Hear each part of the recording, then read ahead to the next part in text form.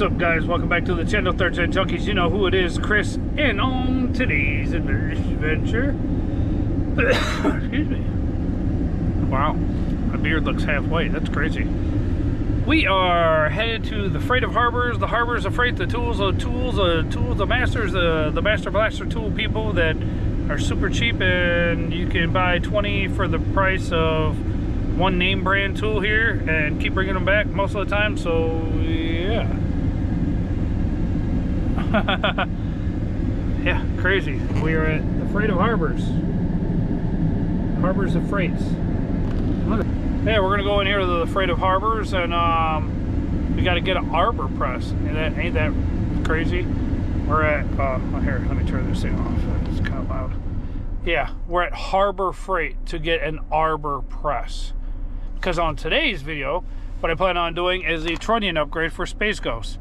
And the videos that I've watched, a lot of people use just a regular standard bench vise.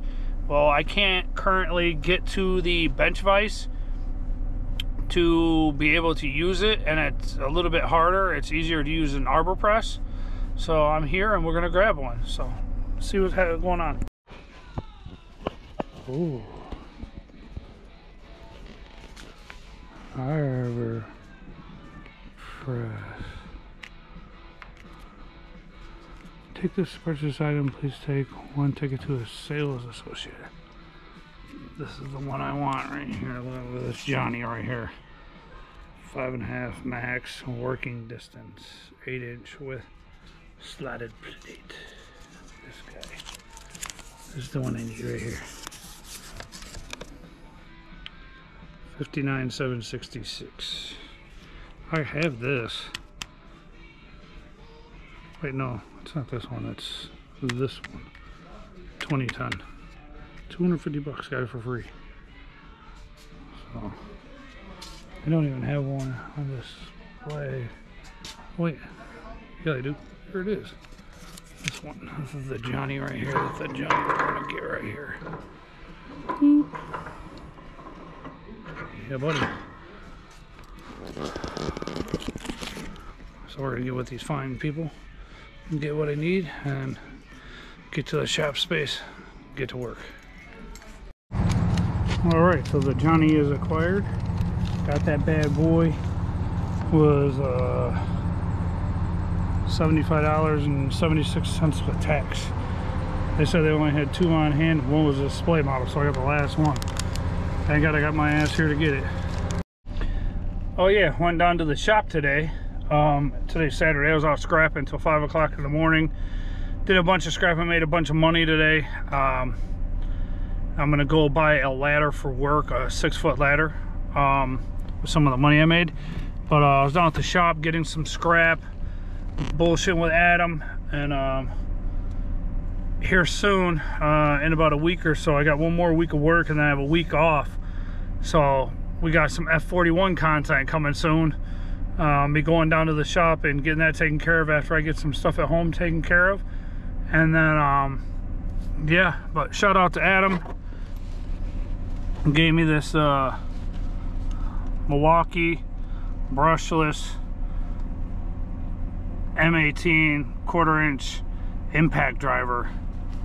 Because he only has one thing that's Milwaukee. Everything else he has is Bauer and other brands. So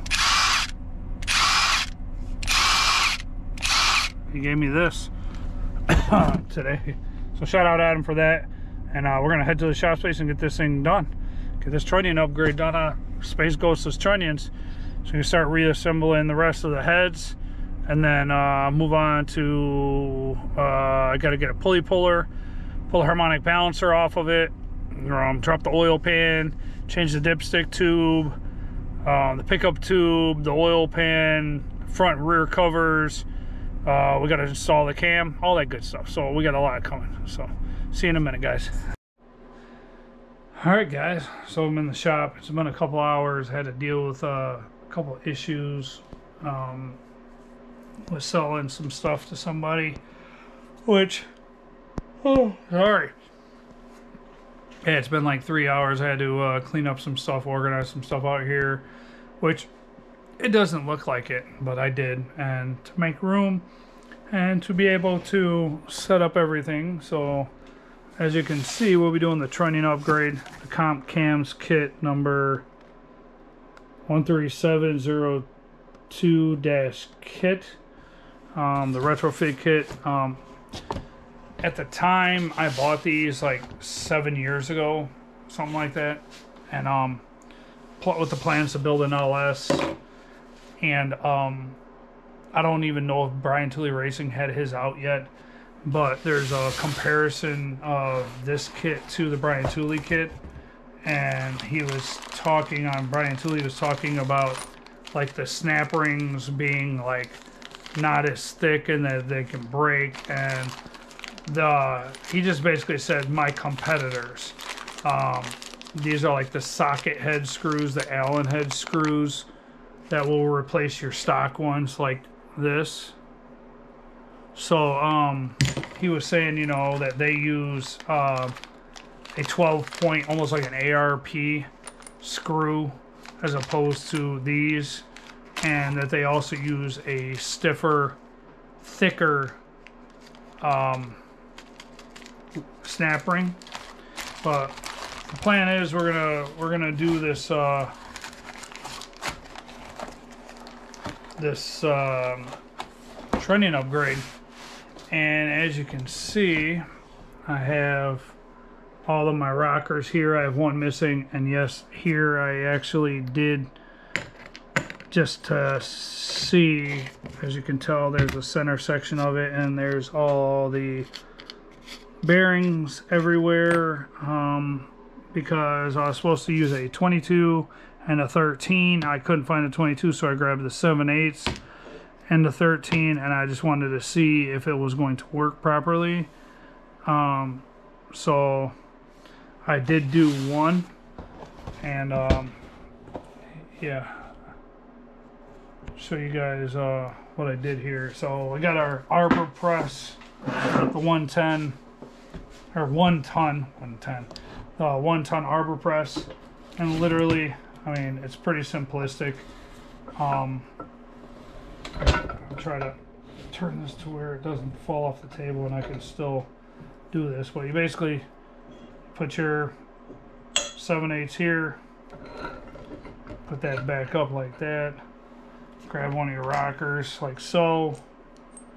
And on here you have this side that has the wings and then you have this side that has the bigger flat pieces the flat pieces on the sides like that go down so you want those on the socket side like this on the the big socket on the bottom then you take your 13 center it up on the top. You bring your arbor down and and you just press press it in, press it down. And I don't have this bolted down but just push it and it'll pop.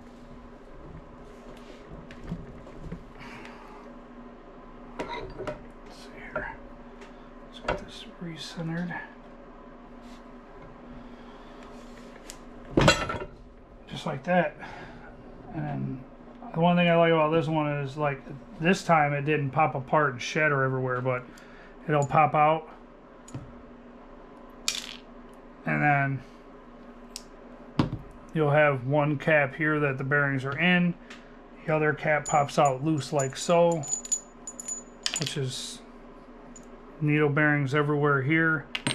And it's funny because they say that, you know, the needle bearing ones you should use the bronze bushing ones but the bronze bushing ones supposedly aren't um, all that great for street driving. The needle bearing ones are more friendly for street driving from what I hear.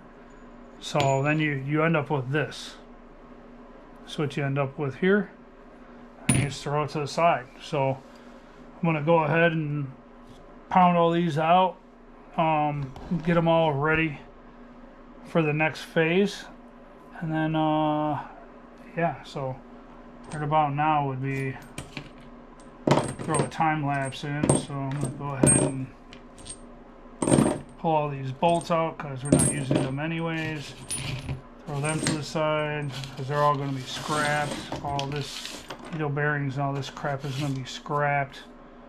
And what I'm going to do is I have this is kind of cool. This box came with in here with this. So what I'm gonna do is I'm gonna set that there and I'll just throw all of them in there. So go ahead.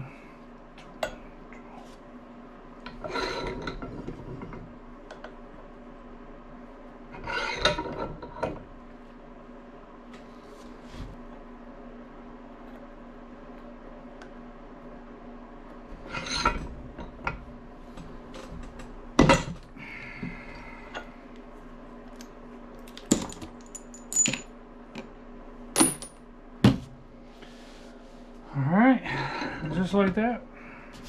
Portion's done, and this is a whole bunch of scrap that's got to go in the junk junk. So now what I'm going to do is I'm gonna go ahead and I'm going to say 2, 3, 4, 5, 6, 7, 8, 9, 10, 11, 12, 13, 14, 15, 16. I just want to make sure they were all there. And what I plan on doing is um, we got an ultrasonic cleaner. So I'm going to go ahead and I'm going to actually soak these overnight. And um, purple power. And then hit it with some heat in the ultrasonic cleaner. And um, then we'll I'll get back with you and we'll uh, get this all done and go to the next step in the process. So we'll see you in a minute. Alright guys, it's the next day and I uh, got all of the rockers here cleaned up. Um, left them in this, it's an ultrasonic, it's really old. It just has heat, it doesn't say how much hot it gets and whatever. And I left them in for about two and a half, three hours with some uh, Purple Power and some ZEP 505 mixed together. And they came out like this. Came out like brand new. All of them are super clean. Once I pulled them out of there, I shoved them into the parts washer right there for a quick rinse. And these rails were extremely, extremely uh, like stained brown. Like one of them I got really clean just in the parts washer because they're so big they wouldn't fit in here because they only a quarter of them go in. But I I washed them in the parts washer. I think it was this one that didn't get like the best. See, it's still got some browning on it. But I stuck it down in there just now and let it sit for a minute and then took just a regular acid brush uh, and went over it and all that stuff came off. So if you don't have one of these or if you have a bigger one where you can actually put your parts in it and let them soak, absolutely amazing. ZEP 505. Yeah, ZEP 505 and Purple Power. It's right there on the shelf. I'm telling you, that stuff mixed together will, will take the grease off. It doesn't really destroy anything. So we're going to get back to uh, doing this good stuff getting the uh, the new bearings pressed in on the, on the trunnions. So right here in the comp trunnion kit, we have the washers. They, there's one here. Well, there's two of them. One for the top and one for the bottom. And then obviously you have your, your bag of your centers for the rollers. For your, it's got the grooves on each side for your snap rings right here and right here. As you can tell, they've been sitting for a little bit, but they're still oiled up. Got our snap rings. We got our other bag of our other eight, I believe. Which is probably what it is. One, two, three, four, five, six, seven, eight. Yeah, it's eight and eight. So we have all of our bearings. And from what I've seen was, is it doesn't matter which side you use. Um, basically, you put it in here like this. Um, you're supposed to take um,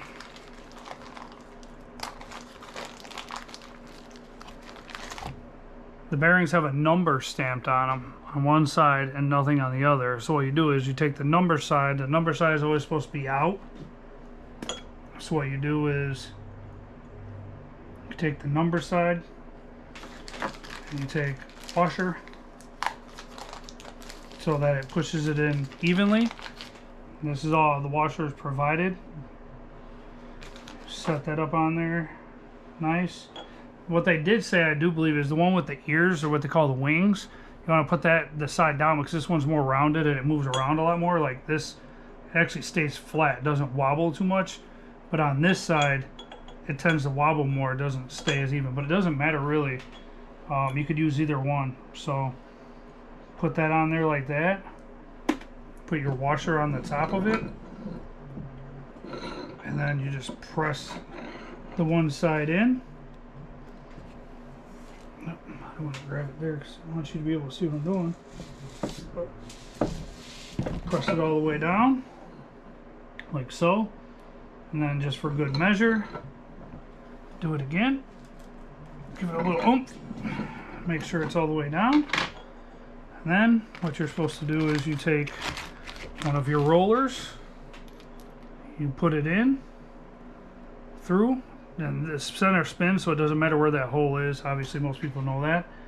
And then what you do is you put the washer on the bottom so it holds holds your the centerpiece in place. and you take another roller bearing, same concept, number side facing up. You want to be able to read that number. You slide that down over it, like so. And you take your other washer,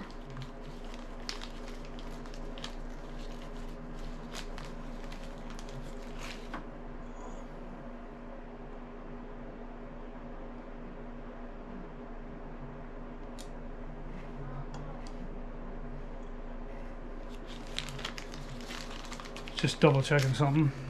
Yeah, then you take your other washer. It has to be perfectly centered with the hole on the, the bearing. Bring it down like you normally would. Press it. All the way down till it stops. problem that I have is it seems like it's not um, going down all the way like it should. Maybe I just need to give it some more force. And the bad part is, is the way the handle is, it's not the greatest for me to... There we go. I got it. And then you just give it a little bit more. Flip it back up. Pull your washer off. Pull it off your other washer. And then you got your grooves like that are loose. Ready to go in. Then what you do is I mean, I'm gonna do all the pressing in, and then I'll do all the snap rings at uh, at one time. But just for sake of the video, I'll go ahead and attempt, because I'm not the greatest at installing these snap rings. And I got these super ancient snap ring pliers from like way back in the day, and hopefully they work. Because I don't know if they will or they won't. I mean, these things have been around forever obviously you can tell by the white of the uh, the the white of the plastic. They've been around for a very long time. So I'm hoping yeah they're like stuck in the plastic. They've been around so long. Um, brother-in-law has always used um, he always played with RC cars and it looks like the head of this one is not small enough. Um, so I gotta check and see if these are all the same exact size or if I have a one of these pairs will actually work. Oops. Just dropped my other different head on the floor because these seem like they're a lot smaller than what I have, what my snap ring plier tool is. Yeah, this one seems bigger. Let's check these other ones. I hope they're different sizes. Hope they're not all just the same size and they are um because yeah they're uh It's like the hole is just a hair too small for these ones. So might have to look around the shop and see if we have uh, another set of snap ring pliers that are smaller to be able to do this. For right now, I guess I'm going to put these two snap rings back in here so I don't lose them. And I'm going to go ahead I'm just going to knock out all the rest of these just to make it easier. And the one thing that I have learned with these um, comp cam boxes, which is really cool, is you can take, even though it's taped together, you can take and if you set it up nice enough, you can, you can take your your box and set it up as a tray. Like you put all of your what what you need and what you're using right away. You can take and just like I did that box over there. You can take all your parts. And we're not like we're not going to use these right now, so those can get set to the side, or they can actually stay here. This is a brand new bag, so we'll put that there, and then I'll dump these ones out right here like so, so they're ready to go. And then I can literally just grab the next one, put it ear down, grab a bearing, grab a washer,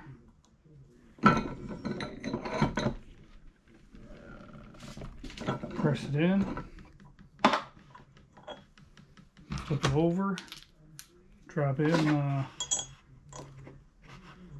the one. And there's little needle bearings all over the table from the old ones. Grab the new one, or the second bearing, put it on the top. Make sure it's centered. Put it on there. Make sure it's centered on the bottom one. press it. My washer moved a little bit, so it stopped. So I need to grab it again. Double check it press it, stopped, pull it out, check it. And one thing you want to check is you always want, always want to check them. Make sure that they rotate. So then, yeah, I'm just going to hurry up and I'm going to knock all these out. I'm going to put them wing, wing side down.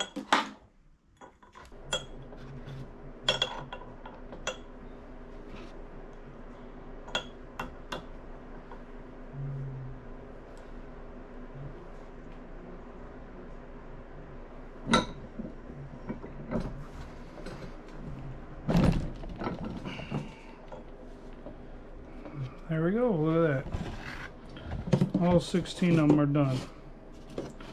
I just got to find me some snap ring pliers that are the right size. So one, two, three, four, five, six, seven, eight, nine, ten, eleven, twelve, 14, 15, 16. Look at that. All done.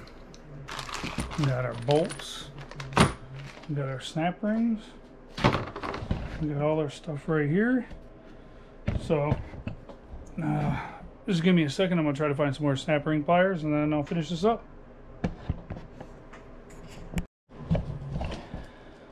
Alright guys, so I looked around, I couldn't find any snap on or snap ring pliers, but what I did find will work. It might take me a little bit longer, unfortunately.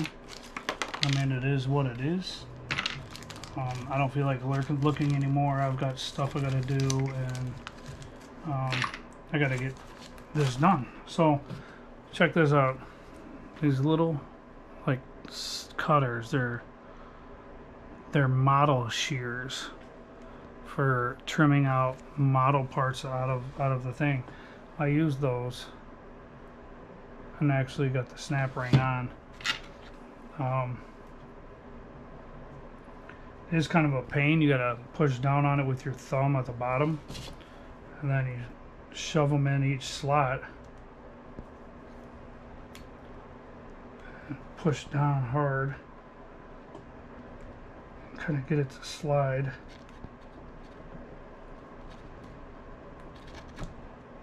And usually once you get one side on, the other side will go on pretty easily. Normally like once you get one side on you can walk the other side down if you if you get the one side to snap the other side will snap down.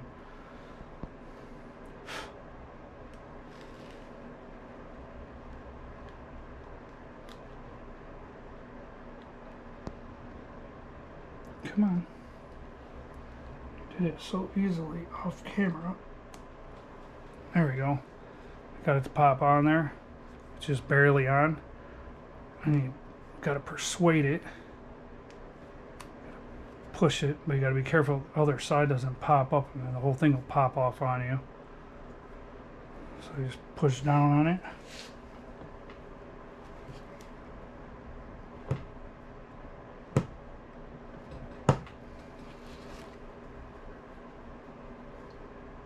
Or you try to loosen it, but I just push down on it with my fingers and then use those and make sure it's snapped all the way around, which it is. There we go. I just gotta do this to the other 15. but adversity, man, makes you stronger. What is what's the saying? Whatever won't kill you will make you stronger. So I've been through using tools that you're not are not meant for that job many a times in my life, and I've made them work. So, I mean, could I run to Harbor Freight? Probably buy a set for three dollars. Probably. Do I have three dollars? Maybe. Probably not. But the only thing about these is you got to be careful that you don't cut yourself and make sure they get you know they're seated all the way down. Because I did just nick my finger barely. Didn't do anything but yeah push down on the one side shove it in the other two.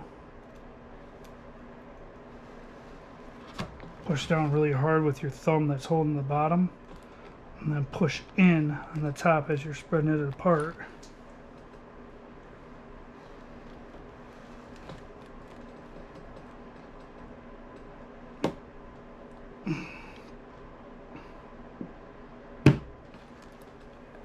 snap.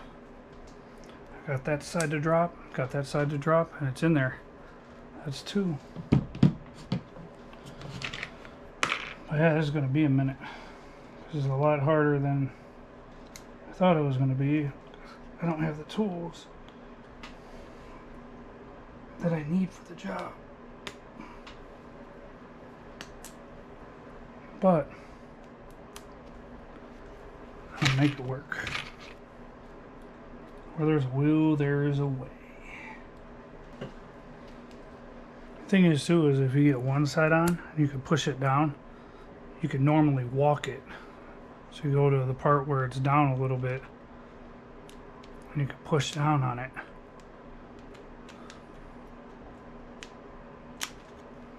And it'll drop, and then you keep going around, and then it'll just snap right on there.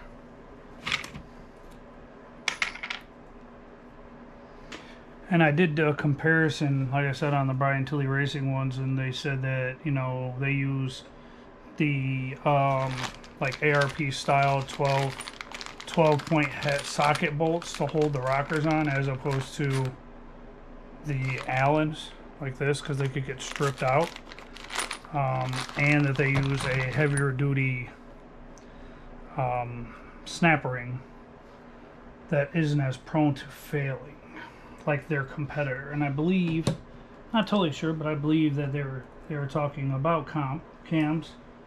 But I've never so far messing with these. I've never heard anything bad about the comp Trunnion upgrade kit. Um, some guys that are running high horsepower engines, yes, they complain because of the fact that um, they say that you know there's issues with higher RPMs. You know they tend to fail. The snap ring will shatter under pressure, and then it sends all these needle bearings through your engine, and it's literally like little. I mean, it is physically little metal shards little roller bearings through your whole engine, so it destroys your engine completely. And then you have to start all the way over. Um, but you shouldn't be revving to seven, eight, nine thousand RPM on the street. I mean, if you're running like that on the street, then you need to just put the bearing, the bronze bearing rollers in and run it at the track because man, 7,000 RPM, 8, 9, 10,000 RPM on the street is you're pushing stuff that you shouldn't be pushing to a level on an area that is supposed to be reliable to drive, not, you know, beat on it like that, like constantly for that amount of time. So, see, once I get down, how many, well, that one went on easy, are left. And as you can tell, all of these are done. These are the only two that are left. And they give you the exact amount of snap rings, nothing more, nothing less. They probably give you the exact amount of bolts. So honestly, that kind of, that's kind of crappy. You would think that they would give you you know, extras just in case something were to happen. Because like right now, if one of these were to accidentally shoot off and shoot across the room, and I got all this stuff in here and I'm digging around and I can't find it, then I got to go and take one of the other ones with me and go to like Harbor Freight or go somewhere and try to find the exact same snap ring, same size, to be able to get it to work and finish what I'm working on. Come on, you.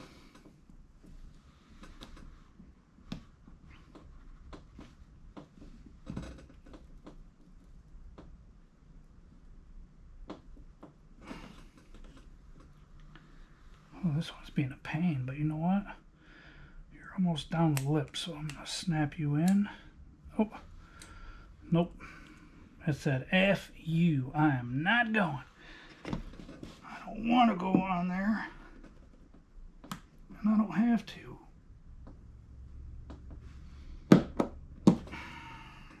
But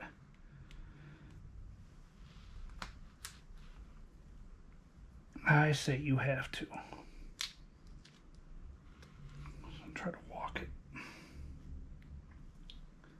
Got one part of it on. Try to walk it. Nope. It says screw you again. So I can tell either this one has more tensile strength than the rest. Maybe this one got, has like superpowers. I don't know. There we go. Gotcha. All right. Last one, fellas. And ladies, whoever's watching, this is the last one. So, I mean, like I said, I'm literally just holding it down, grabbing it here, spreading it with my fingers. It's hard to see, but spreading it, getting at least one side down, and then walking it or snapping it on like that. Same thing on this one. Push down on this side. Sometimes I think I push it down too far to where it makes it harder. But push down on that side. Keep it down at an angle. Stick them in there. Push hard, spread them. Like I said, even if you only get one side down, like you get this side down, like if I can get that one to snap down like that, I can do is put pressure on it and walk it all the way around like that lock it and it'll snap in. And that's it.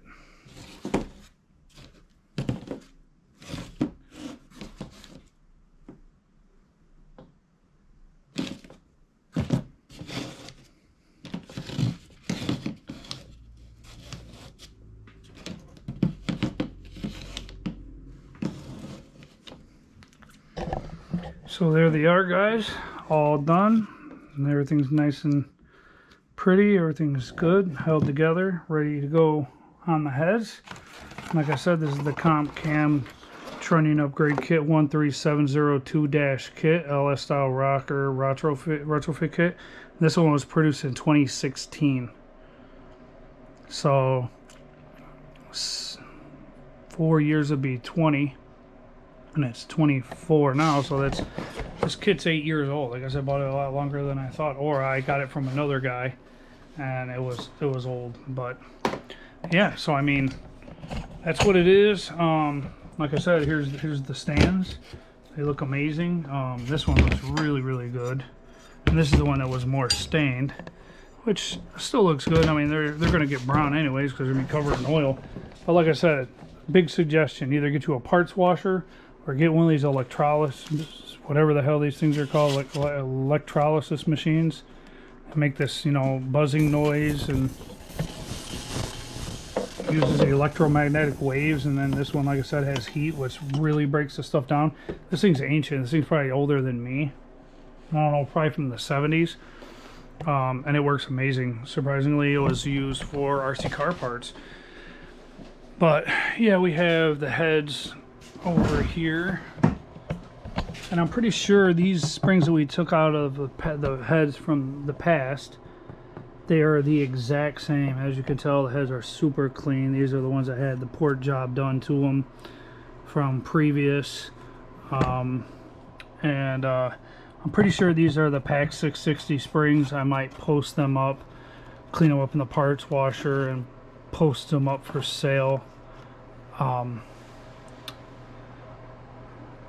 but yeah I'm gonna uh, end up putting those rockers on torque them to spec and get all that stuff done. But for right now that's gonna do it for this one guys. Um, so that was a video. Um, upgrading your stock LS rockers to uh, your trunnion upgrade so you can run a high lift cam a big you know whoppity whoppity whoppy you know. One of those you know. Sounds like two 10 year olds kicking a can down the street you know but uh, yeah, so we're gonna do it. That's it for this one, and I highly suggest. These used to be like thirty dollars. These arbor presses, whole lot better than using a standard, your standard bench vise, because the bench vise you have to do it horizontally and try to hold the washers and everything in there.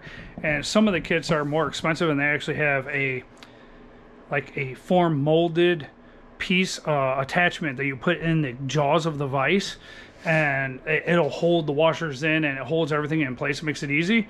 But from my experience and everybody that i know that does budget builds and all the other youtubers that i watch that do it um, it was a pain. And it took them three times the amount of time that it took me with this arbor press. This thing it was $75 with tax. You guys seen it earlier in the video. So uh, central machinery um, harbor freight just you know one ton arbor press. And I'll do just like I do with all of our stuff that we have here. You know everything is labeled and for the most part and put up. And I'm going to put it back in the box. Um, and uh, put it on the shelf you know and when I need it next I'll use it. So but that's going to do it for this one guys. Like subscribe drop a comment down below and we will see you next time